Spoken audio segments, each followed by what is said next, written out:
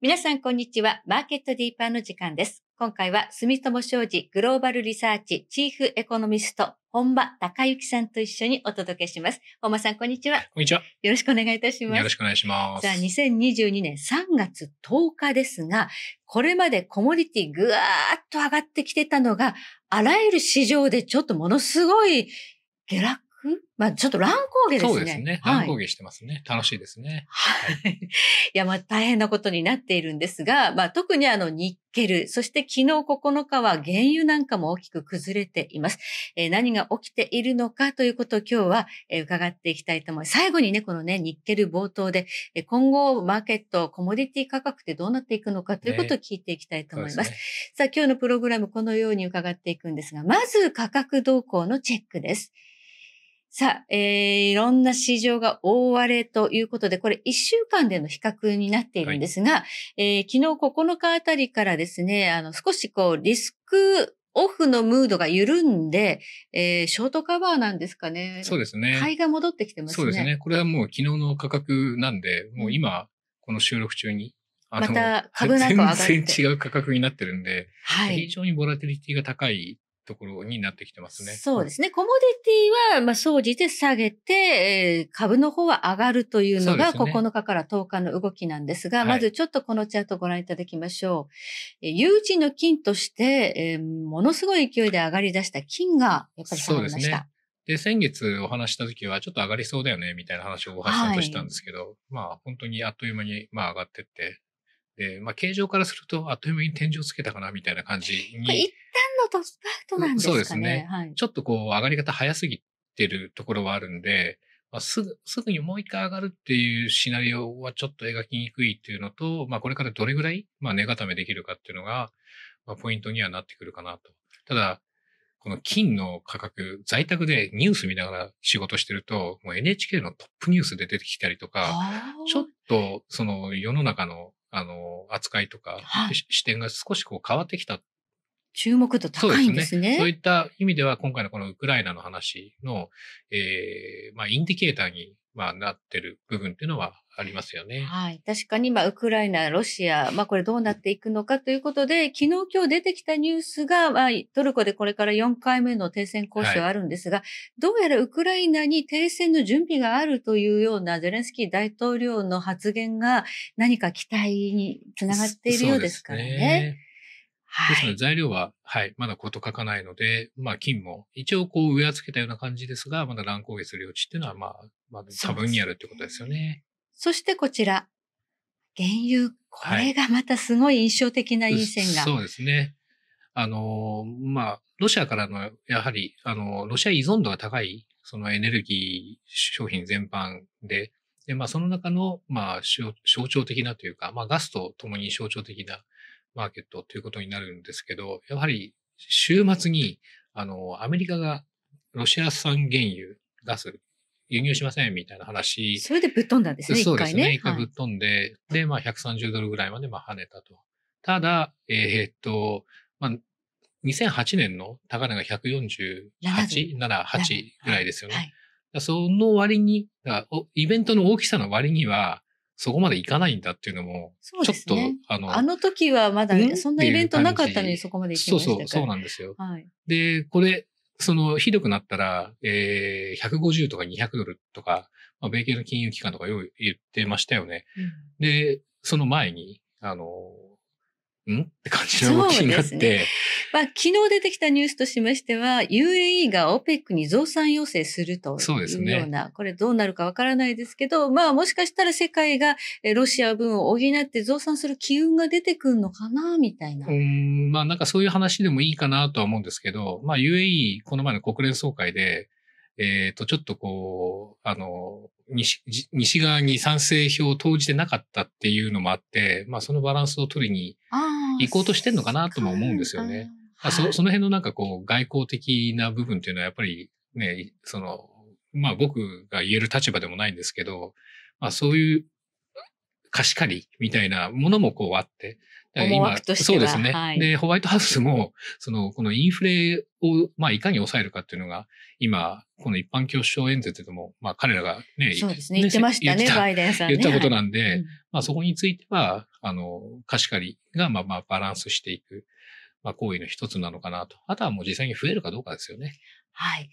ただこれ、あの、目先のニュースで、やはりちょっと冬季局の需給で、まあ、つけた価格ですので、そうですね。えー価格がこれで、えー完全に上昇トレンドが終わったかどうかまだわからないですね。そうですね。だからはい。一番、まあ、こう、知りたいのは、まあ、ど、どの辺で落ち着くかっていうところですよね。ね。とりあえず今130まで行って、で、マーケットの中で150とか200とかっていう声が、まあ今のところこう耐えてない中で、じゃあ、あの、80ドル台から130までボーンと上がってきて、で、この触れの中で均衡する点はどこなんだっていうのが、あの、みんな今模索しているような。そうですね。決して、あの、終わったわけではないということですね。そうですねそして、まあ、金利動向なんですが、再び、まあ、上がってきてはいるんですが、ちょっとその金利の幅を見ていただきたいんですね。ね、この2年短いところが、まあ利上げもそうなんですけど、まあ現金先行もあって少し、あの短いところが売られやすいのかなとも思うんですよね。まあもちろん利上げっていうのももう当然あって、はい。で、5年、10年はどっちかというと、こう、長期の機関投資家がこう、お買いになるような、あの、利回りが、あの、つく、債、まあ、債券なんで、この辺はちょっと動きにくくて、手前の方がやっぱりスイングしやすいっていうのは、えー、そのコモディティを見てる立場からすると、うんまあ、金利が高いと、そのコモディティって、まあ、売られやすくなりますよね。はい。で、金はやっぱりその影響を受けてるのかなとかっていうのと、あとは今、まあ、後ほどこう見てもらうんですけど、まあ、他の、えー、えっと、コモディティもすごい値上がりしてるんですが、はいまあ、これが、あの、ひえーそういう動きをまあ冷やす可能性っていうのも、まあ、なきにしもあらずなんじゃないかなと思って、とりあえず今見てるところですね。そうですね。まあ、いわゆるこの金利差がこう縮まってきているっていうのはフラットニングそうですね。フラットニングでで、すね。これがやっぱ逆転してくると、あの将来の景気後退をそうそ示唆するう。大丈夫なんだ。だっていう人もいるんですけど、うんまあ、経験上はなんかろくなことないんで、あの、フラットニングしていくときには、大体その世界経済の成長のペースって大体落ちるんですよね。はいで、今もなんかいろんな見積もりで、あの、経済、その、今年の主要国の成長見通しっていうのはガクッと落ちてるんで。下方修正ですよね。そうそう軒並み。はい。そうなんですよ。だからそうなると、まあ、フラットニングしたらやっぱり、まあ、ろくなことないよねっていうのか、まあ、ろくなことが起きてないので逆にフラットニングしてる。だ戦争状態なんで、それに備えて、まあ、こういうポジション取りになってるっていうのが、まあ、一つ考はいえられるのかなとは思って見てます。はい。では、ここからはプロの視点ということで、えーロシアによるウクライナ侵攻と、まあ、コモディティへの余波ということで、えーまあ、これもうインフレ待ったなしだというふうに言われる中、実際価格どうなっているのか、このインデックス確認しておきましょでももう本当にこう上場されてる商品いっぱいあるんで、もう、あの、それ全部揃えたらキリがないので、まあ、インデックスはい。でまあご覧いただくということ。あとはまあコロナ、えーの、えー始まった頃、はい20年1月をまあ1にして、えーその GSCI のエネルギーセクターと、えー産業用金属、あとは貴金属、あとは、一本消えてんのかな？あ、あ、これでいいのか？ごめんなさう。い。はい。えっ、と、この4つでちょっと見てみると、はいえっ、と、貴金属は、えー比較的、実は安定してる。で、あの、足元では、このエネルギーと産業用金属っていうのが、まあ、吹っ飛んでるってことですねはい。まあ、コロナでね、一旦その2020年3月、4月の時にはいガクンと凹みましたけれども、コロナ前の直前のところからすると、だいたい2倍になってる。そう、そうなんですすよ。で、まあ、我々の目線としては、例えば WTI はマイナス 40, 40までいってると。で、あれも幻のそうそう。あれも、ある意味幻に近くて、まあ本当に数日ですよね。はい。そのマイナス価格になったのって。であ、あそこが、そのし、その出発点、あの、打ち上げ台になってるとしたら、もう今の価格なんて、その130ドルなんかとんでもない価格なわけですよね。で、あと、その前回の、そのリーマンの時の高値、147とか8のえまで、あともう本当十何ドルだから、もうそのチャート的に、テクニカル的にはもうフルコレクション体制に入ってるわけですよね。はい。それが今、このセッションで行くのか、ちょっともう一泊置いて、はいあの、行くのかっていうのが、まあね、予見はちょっとなかなか難しいんだけど、まあみんなの目線はそういうところに集まってるのかなって、思ってます。では、この原油価格っていうのを、えーそのインフレの指標である PCE、デフレーターと一緒に見ていきましょう。ちょっと見てみようかなっていうのだと、まあ、その政策目標として、まあ、インフレを抑えますみたいな話になっていて、で、そのまあ、あの、ど真ん中に、えー、原油価格、ガス価格っていうのが、あの、あるんだっていう、まあ、語られ方するんですけど、ね。はいでもずっとこう2008年からこうね、その動きを見てると、あの、足元異様なほどに動きが、あの、ディボースしてるっていうか、乖離してるんですよね。そうですね。これまでかなりその PC デフレーターって原油価格で説明できたのに、そう。あの、もう実は全然そのインフレの原因というのはアメリカの場合はちょっと別なところで、はい。あの、例えばその、労働需給がやっぱり逼迫してたりとか。人手不足による賃金上そうです、そ昇。うです。はい。ええ。いまだにね、あの、求人1100万人とかって言ってるわけじゃないですか。でも働いてくれる人って、雇用が増えててもまだ全然そこまで行ってないわけですよね。で、労働、いあの、リタイアした人まだ戻ってきてない戻りたくないらしいね。戻りたくないかもしれないし、そうねなってくると、なかなかそこの問題でこう解決、はい。まあ、して、えーいかないというのははいちょっと大きい問題になっていて、まあそういうものとか、あとは、えーとその延長で、えーデリバリーにすごいコストがかかるとかね。まあ、人がいないからね。人がいない運ぶ人のコスト、運ぶコストがかかる。そうそう。それとあとね、あの、一部で、うこれはアメリカの人と話してた時には、もうあんな仕事は嫌だみたいな、なんかこうサービス業の人とか言ってたりとかすするまあのも聞いたんですよね。時給が高くなってるんで、もっと簡単な仕事にそうそうそう。人が行きやすくなってる。そうなんですよ。だもう人になんか使えてサービスするのにこんな安い給料じゃ嫌だわ、みたいな感じで、あの、そこの仕事に就かない。で、そのインディードのホームページとかだと、やっぱりいっぱいあるんですよね、仕事がね。あの、アメリカのその求人募集とか見てると。です。で、あの、賃金水準もやっぱりこうすぐやめて、よりいいところに行っちゃうってことなんだ。そうです。統計上も自発的失業ってね、そこそこの数いるし、でそうなってくると、その、エネルギーだけがおそらく問題じゃないんだっていうのが、おそらくこの関係から、まあ、見えてくるもの。そうするとアメリカはね、あの、インフレ対策ということで FOMC3 月から利上げ始めますけど、利上げしたから果たして効くのかどうかっていうのはちょっとわかんないそうなんです。ね。で、もしかしたら、そのはい、景気をもっと殺さないといけないような、そのインフレを抑えるためにはねそういうことをやらなきゃいけない可能性っていうのもまだあって、はい。その利上げ、まあ今月やることにはなるんですけど、まあどれぐらい、あの、まあポツニーゴはやるとしてね、はい。どれぐらいこれ、この後やってくるのかって、まあ戦争と、戦争、戦争じゃないな、ウクライナ問題とのそ兼ね合いもあるので、ねね、むまた新たな材料が出てきちゃって、そうです難しねいですね。難しいです。ね。はいで。こちらは、えー、アメリカのガソリン価格ですそう、ね。それで、あの、アメリカのガソリン価格が、まあ、なんか、であの、ガロン4ドルになったら、なんかもうアメリカ人は大騒ぎなんだみたいな話にはい。なんか支持率に直結するとかね、そうそう選挙に負けるとかいろいろ言いなますけど。るじゃないですか。はで、今回、あの、ガソリン価格を上げかねない、その、ロシア産の原油、金油とか、石そうそう、油製品。よくあれに踏み切ったなと。そうそう。そうなんですよね。でも、まあ実際は、まあいくつかまあ理由があるかなと思ってて、ええ。まあ一つは、えーまあ、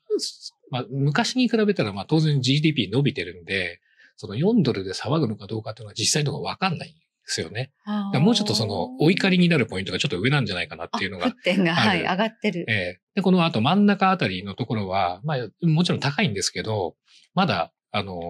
ほ、あの、本当に4ドルぐらい。そうですね。ええ4ドル。で、両うん脇はまあ5ドル超えてるとか、まあそんな感じの、まあレベルになってくるんですけど、はいこの5ドル超えてるところは、あの、意識高い系の 人たちがいらっしゃるところだったりとか、まあ EV が、あの、発達してるところあーとかっていうのもあるので、ガソリン価格もしかしたらあんま関係ないんじゃないかなと思うんですよ意ね。識高い系は、それよりも、今は、まあ、国際世論的に、まあね、ロシアはちゃんと制裁しなきゃいけないんだと。そうです。で、うんあの、こう、2008年のあの高騰の時って、まあ本当にあのヘッジファンドとかスペキュレーターがもう死ぬほど買ってあの値段まで行ったんですね。で、今回はそうじゃないのがみんな分かってる。で、その分だけ因果関係がはっきりしてるので、そこはまあ受け入れやすい部分もあるんじゃないかなと思うんですよね。で、実際にこうなって、あの、石油の値段が高いから、あの、バイデンさんの支持率が下がったっていう話にはなってない。その、うんどっちかというと、まあ、リーダーシップの方をね、あのはい注目されてるというこそうとなんんで。すよ。このロシアのウクライナ侵攻から、えー支持率上がり出してる。そうですね。はいそうなってくると、あのーこれが、まあ、秋の中間選挙とかにももちろん影響出てくると思うし、でガソリンの動向だけ見て、それ、それに対して、例えば民主党政権に対する、まあ、反発とか生まれるっていう感じではなくなってるかなっていう。なるほど。ここは少し、あの、見方が変わるところでもあるかなと思って、ちょっと注目はしてますね。なんか有事の時っていうのはアメリカ国民っていうのはこうちょっと結束して一つの方向にね、そうですね。はい、行きがちですけど、特に基本的にアメリカ人で、その、比較的、こう、国際派の人たちってあんまロシアのことを昔から好きじゃないっていうか、ソ連の時代の、まあもう思い出がある冷戦冷戦長かった。えーレースのですね、長かったんで、はいまだその、その思いをこう引きずってる人の声もやっぱり大きいですね。ちゃんと制裁すべきだということ。多少ガソリン価格が高いということを、まあ飲んでもということになったわけですね。えーでも、それって、あの、他の国、うん参加してないですね。日本もね、まだ、まだはっきりと対応て表明してないですよね。はい。でそれの構造は、まあ、なぜかというと、はいまあ、アメリカって、その、石油の輸入国じゃないんで、昔は、勝ってた。そうですね。この、えー、緑のところをちょっとこう、如そうですね実にね。これはいが、あの、原油えー等で、あの、はい彼らが、まあ、えー貿易赤字をこさえていたところですね。はい。2000年代前半から、本当にシェールが出る直前の、まあ、11、2年まではい。えーは、あの、比較的大きい貿易赤字のうち、えー油に、こう、まあ、こうお金を払ってたわけです。はい。輸入しないと賄えなかったんですね。そうです。でそれが、あれ？っていう感じで、はい。シェールが出てきたんで、うんうんその貿易構造がガラッとこう変わったわけですね。はい。で、価格面から、おそらく数量面から見ても、うんもう油は基本的には、まあ輸入しないでも何とかいけそうよっていうレベルには来てる。ロシアを制裁して、まあ、あの、輸入を断っても、まあ、国内の生産増やせばなんとかなるのがアメリカなんですね。そうですね。で、まあ調整用でやっぱり原油が、まあ多少必要、あの、重たい原油が必要なところがあって、はい。で、ロシアを切る代わりに ベネズエラに行って、あの、交渉して、で、ベネズエラはじ、あの、突っ張れるのかなと思ったら、あの、拘束していた二人ぐらいの、あの人をなん、あの、釈放したりとか、で、国内の報道でも、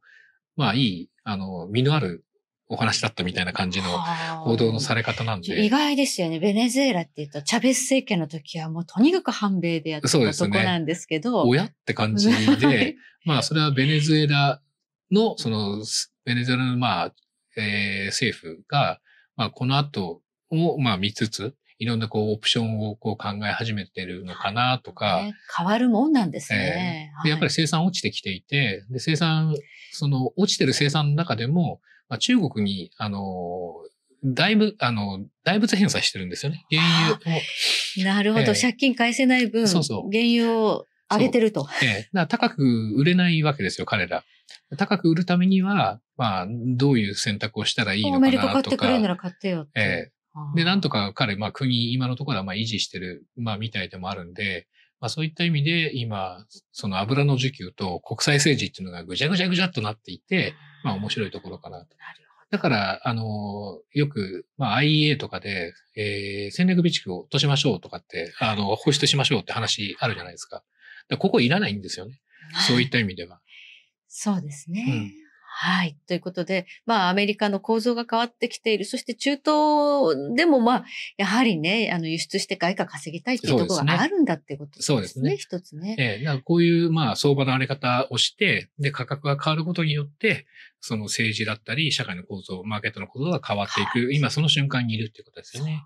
はい。そして最後、今週のディーパーなんですが、えー今本当に大騒ぎです。ニッケル相場の冒頭と LME 取引所でこれ取引停止しただけではなくて、最新の情報だと、この冒頭したところの取引は、まあ、なかったことにするみたいなそうですね。なかったことになっちゃったみたいですね。はい。。はい。まあ、なぜなのかということも含めて、ちょっと価格見ていきましょうか。ははい。これメモリじゃないんですね。価格なんですが、青いのね。そうなんですよ。この右側の青いのが、はいえっ、と、LME のニッケル先物で、えっ、と、4月、あ、ごめんなさい、3月の8日、はいこの取り消しされた、はい。価格を含むはい。チャートです。幻ですね、じゃあね。取り消しなわけですから。ええ今日のに、ん？昨日かな？日経でも幻の10万ドルみたいな感じの見出しついてましたけど、あの、ちょっと話してる間に10万ドルまで行ってました。はい。あ、そう。あの電話で話しながあら、いや、まあ昨日の日経ですごかったですね、みたいな話をして、高値5万5千ドルですよ、とか言ったら、その高値5万5千ドルを超えて、で、話してる目最の前で。目の前で。で、あの、話してる途中に10万ドル行って、これはどうですかって聞かれたんで、壊れてますっていうお話をしたんですね。はい。で、実際マーケット壊れていたようで、えーロその日の、まあ、夕方、ロンドンの朝に、えー取引停止になって、えーえーとりあえず今週いっぱい停止。で、来週から再開。で、えー3月8日の取引はみんなキャンセル。これ、取引開再開したとき価格は何ドルから始まるんですか？に、えっ、とですね、あ3月7日の終値かな？だから4万8000ドルぐらいから始まるはずなんですね。なるほど。そこからもう一回やり直しってことになるんですね。そうですね。そこからまた、あのう、ん板が始まっ、まあ、寄せ板が始まって、うんえー取引開始されるということに、まあ、なっていきます。何が起きたかというと、これ中国の、まあ、鉱山大手、要するに生産会社でもあるところが、まあ、普通は生産会社っていうのは、まあ、先物でヘッジしてね、自分が売ったやつを、えーあまり安くならないようにも価格を値決めするという意味で、はい先物を売るというヘッジを必ずやるんですけど、はい。えここは、あの、その、ヘッジ力以上にショートを持ってたみたいですね。そうですね。まあ、それが一つ言われてるのと、あとは、まあ、実際のところは、えー報道されてるところでは、そのショートが、えー15万トン ?20 万トンとかっていう規模なんですね。そんなにでその、この15万トンにとりあえず引っ掛けて言うと、はいだいたい15万トンぐらいが日本の消費量。もうちょっと少ないかもしれない。で、えっ、と、今 LME の在庫がだいたい、えーこの、えー左軸ですね。そうですね。左はい軸のこのオレンジの線なんで、まあ、10万トン切って、まあ、7万トンとか。でそのうち実際使えるのって5万トン以下なんですね。そこで、その20万トン近い、その先物ショートを、えー振るっていそうれのは。は買い手が現れたら、あの、渡さなきゃいけないってことになりまそうですす、よね。そうです。で、それは在庫あるのっていう、その取そうですよね引上に、まあ、はい受け渡しする在庫があるのっていうと、多分ないんですよね。ないのに、えそんなポジションを作ってたところが、まあ狙われたんですかね。そうですね。はいまあ、狙われたっていうよりかも、まあ、うんまあ、自らハマってったんじゃないかなと思うんですよ。で、実際その、このロシアに対する、はいロロシアとこのウクライナの話って、まあね、ずっとこう心配されていて、でこの21年とか、まあ20年からですけど、まあずっとこう価格ってね、今これ潰れちゃってますけど、ずっとこう上がり基調、上昇基調だったんですよね。そうですね。ええはい。で、その、で、在庫はどんどんどんどん減っているという中で。ええで、在庫が減ってって、もちろん、あの、LME の取引所い、えー取引所在庫以外の在庫に行ってるだけかもしれないんですけど、まあ、マーケットのその、規模感というのはやっぱりぐっとこう縮まってきたところで、大きい先物ショートっていうのがあって、本当はそういうのを取引所がこうマネージしなきゃいけないんですよね。アラートかけて。はいで僕らはその、そういう、まあ、あの、アラートだったりとかっていうのを受けてきた方なんで、うんただ、あの、取引所の役割ってよくわかってるんですよ。で、実際もう日本でそういうことってないですからね、アラートが起きるようなことって。そこはもうみんな、あの、モニタリングされてる。要するにこのポジションは危ないですよって。なんでこのポジション取ってんのっていうねね、調査、こうんう、取引所がすべきで、うんまあ、それをしなきゃいけないというのは多分今世紀入ってからの取引所の課題なんですけど、はいなんで今更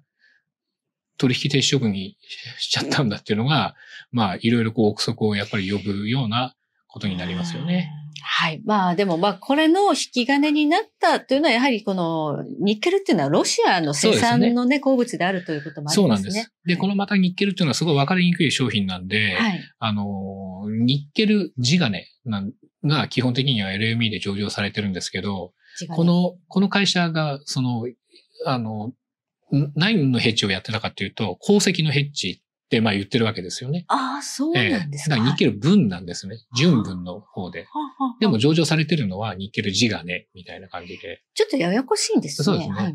らちょっとこうややこしく、うんややこしくて、で、うん鉱石を取引所にはやっぱり持ち込めないっていうのが、ああ、やっぱり地金で、ええ地金であの、在庫になっていくわけですね。はい。で、その鉱石のマーケット、その貿易、鉱石の貿易のマーケットっていうのは、うんもう大体フィリピンとインドネシアっていうのが、まうんあ、あの、世界のもう、この二つだけでも半分以上超えてるような、うんまあ、状況で、うんで、その中国企業というのは、まあ、インドネシアから、まあ、主に調達していたということで、はいで、ここから持ってって作っていたものはステンレスを作ってた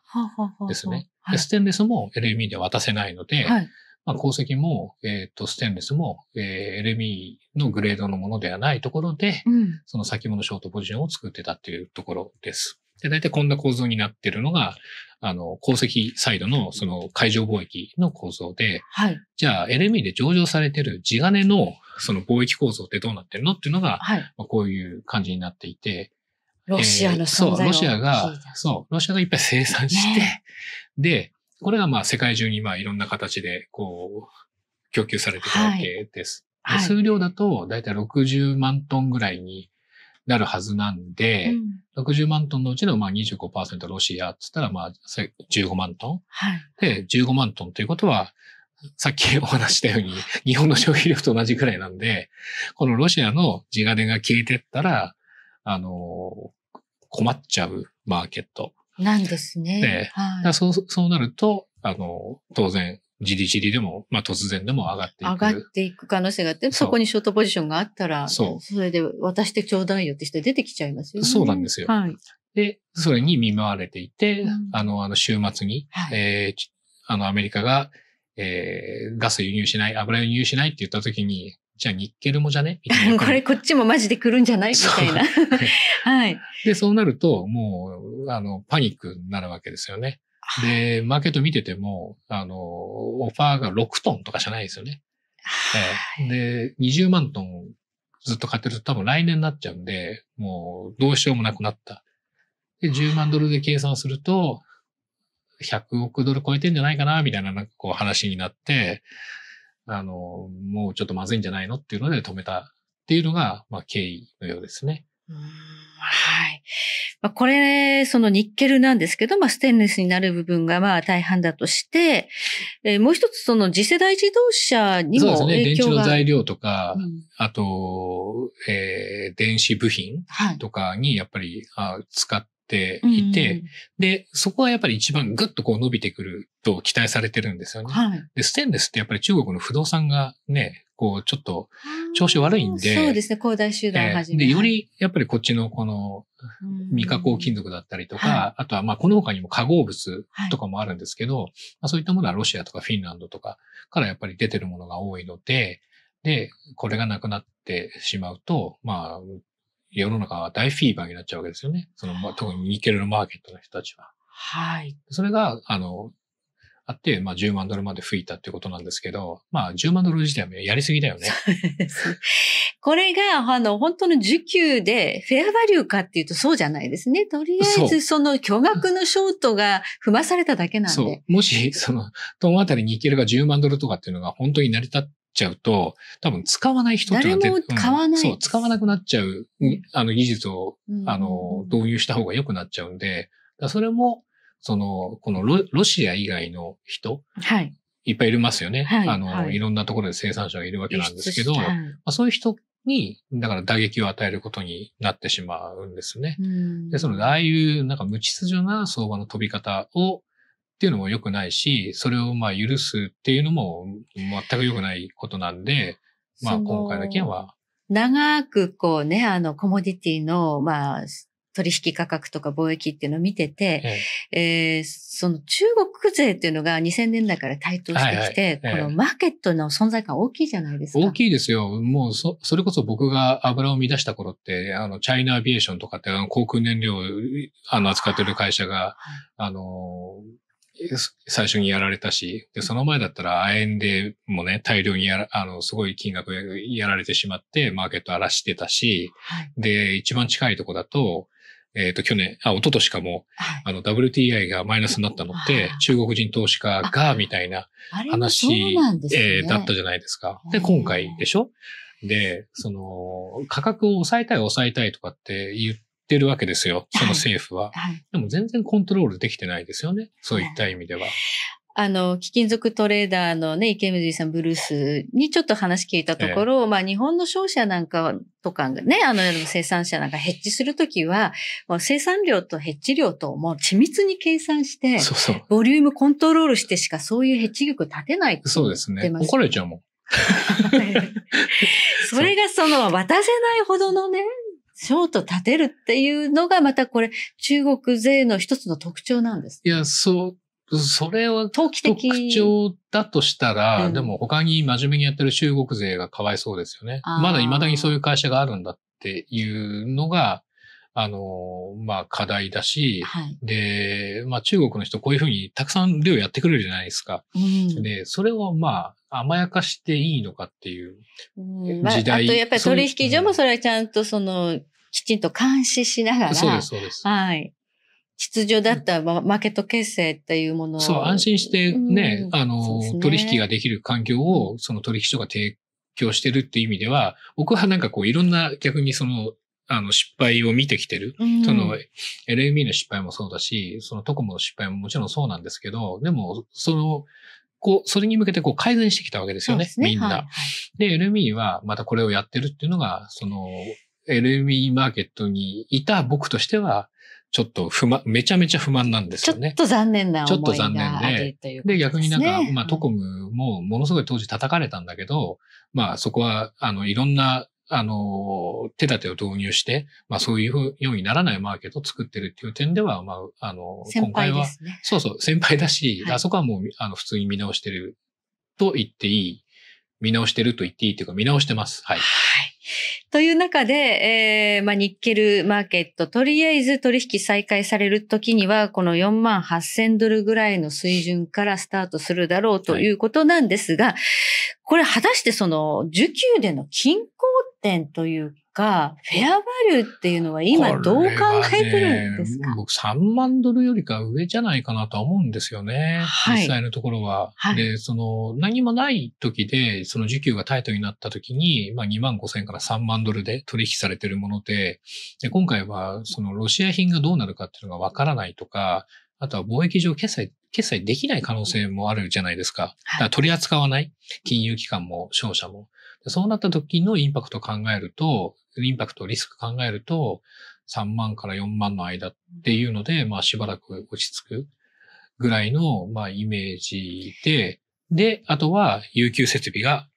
リスタートかけるかどうかっていうのが、あの、実は重要なポイントだと思ってます。はい。まあ、あらゆるコモディティが、まあ、一旦ね、当面の天井をつけたような格好になったんですが、えーこれはでも長期的に見ると、ロシアの制裁というのが、もう、明日に解除されるわけじゃなくて、これから始まるわけんですから、この部分というのは、まあ、価格の水準を引き上げることは間違いないという。その不確実性ってはいいう部分では、その価格に反映されるとしたらやっぱり高くなっていくし、で今回の件は終わりが見えないわけですよね。で終わりが見えない中で、まあどういうふうに、うんあの、大橋さんがおっしゃるように均衡点探していくかっていうのが、まあ、まさにこれから始まるのと、あとは、こう、こういったことが、あの、さっき、あの、見ていただいたチャートで、もうこれが無数にあるわけですよね。いろんなマーケットでね、小麦とかもそうですし、ね。小麦とかもそうだし、はい。で、ガスでも、あのレアガスとかそういうのもね、はい。あの、ロシア、ウクライナでこう出してるっていう話もよく耳にするんで、そうなってくると、あの、新しくいろんなことをこう考えなきゃいけないっていうシーン、それと、その先に、えー、ある、なんていうのかな、価格構造っていうのが、どう、まあ見ていくか、まあどう作られていくかっていうのが、そうですね。あんまり高いようだと、あの、代替品模索して新しい技術の開発っていうふうになっていくわけで、そう、はい。あっという間にそういうのが起きるね、そうですね。こともあります日からね本はそういうとこ結構得意だったりしますからね、大得意だしね。はい。はいまあ、いろんなものの構造がこう変わる可能性があるということで、まだね、あの価格乱高下続きますので、皆さんちょっとポジション管理を気をつけていただきたいと。はいで、投資におけるまず最終判断ご自身で慎重に行っていただきたいと思います。えそして今お話にガスの話も出てきました。ガス価格もかなり大きく動いているんですが、え実は4月4日、来月ですね、液化天然ガス LNG 先物が上場されるんです。日本に。はい。これを記念いたしまして、日本取引所グループ大阪取引所協賛の特別ライブセミナーを開催いたします。題してエネルギーディーパー。えマーケットリスクアドバイザリー代表新村直弘さんと一緒にロシア経済制裁で注目が高まる原油 LNG のマーケットを深掘りしてお話ししてまいります。えお申し込みは来週のディーパーの番組から開始いたしますので皆さんぜひご参加いただければと思います。このエネルギーディーパーライブ生配信で行います。3月31日木曜日の夜7時から、えー、LNG、まあ、エネルギーマーケットね、あの、どういうところを見ていけばいいのという基本的なところから、新村さんに教えていただきたいと思いますので、皆さん、ぜひこちらご参加ください。ぜひご参加ください。はい、ありがとうございます。さて、今週のマーケットディーパー、皆さんぜひチャンネル登録とこの動画へのいいね、よろしくお願いいたします。今日は本場高弘さんと一緒にお届けしました。どうもありがとうございました。はい、ありがとうございました。では皆さんまた次回お会いいたしましょう。